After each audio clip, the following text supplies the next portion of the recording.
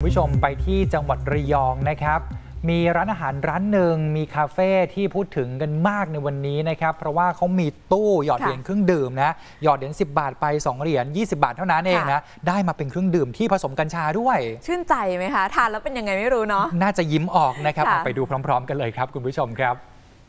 ให้น้องให้น้องอะ นี่แหละอ่าแบ่ง กันดื่มนะครับ นี่เป็นตู้เครื่องชงกาแฟ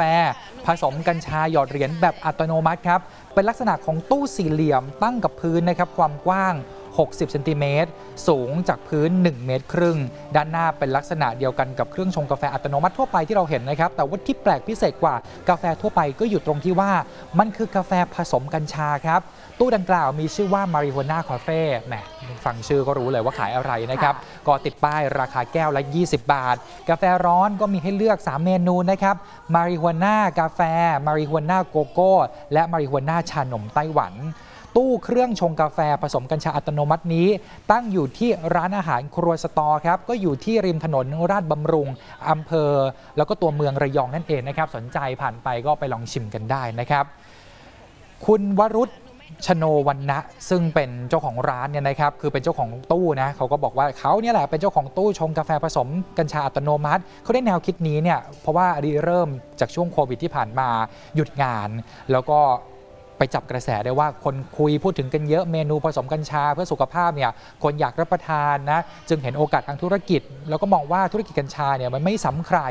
พอไปพบเครื่องชงกาแฟอัตโนมัติ แบบหยอดเหรียญก็เลยปิ๊งไอเดียนะครับหากนำกัญชามาผสมกับกาแฟในรูปแบบของหยอดเหรียญก็คงจะดี ก็เลยไปศึกษาหาความรู้นะครับจนได้สูตรกาแฟ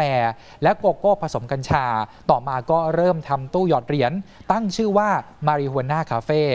จากนั้นก็นำมาทดลองวางตลาดแห่งแรกที่นี่ครับ หน้าครัวสตอนะครับก็คือร้านครัวสตอแห่งนี้ปรากฏว่า โอ้โห เสียงตอบรับดี คนฮือฮามาใช้บริการกันเยอะ คนที่ชิมไปแล้วก็บอกว่าพอใจ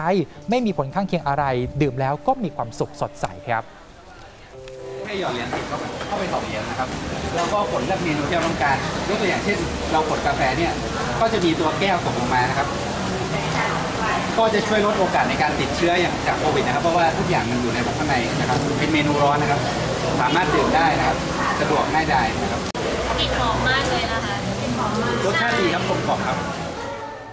ส่วนคุณธริษนุกุลเดชาธนโชตนะครับซึ่งเป็นเจ้าของร้านอาหาร ครัวสตอก็บอกว่าตั้งใจศึกษาเรื่องกัญชามานานกว่า 2 ปีแล้ว เมื่อทราบว่ากฎหมายเนี่ยปลดล็อกกัญชาจึงได้คิดเมนูอาหารที่มีส่วนผสมจากใบกัญชาขึ้นมา แล้วก็นำมาขายในร้านควบคู่กับเมนูอาหารใต้นั่นเองนะครับซึ่งก็มีขายตามปกติ แล้วก็ยังมีตู้ชงกาแฟ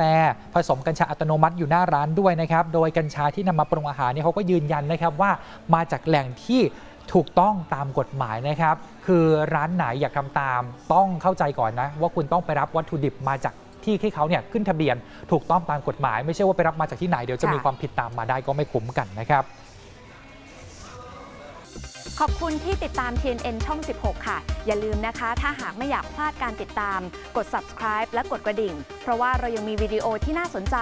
รอคุณผู้ชมอยู่อีกมากมายค่ะ และยังมีอีกหนึ่งช่องทางรับชมได้แบบสดๆ ทาง Facebook TNN Live นะคะ นอกจากนี้แล้วยังมีอีกหลากหลายช่องทางติดตามกันได้แบบง่ายๆ เพียงแค่คลิกไปดูลิงก์ที่วิดีโอด้านล่างนี้ค่ะ